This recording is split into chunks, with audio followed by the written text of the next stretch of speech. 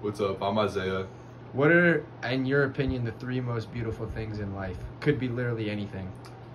Um, like life itself is honestly beautiful. The mystery of life, just like fucking the meaning of life. Cut that out. Um, no, you're good, bro.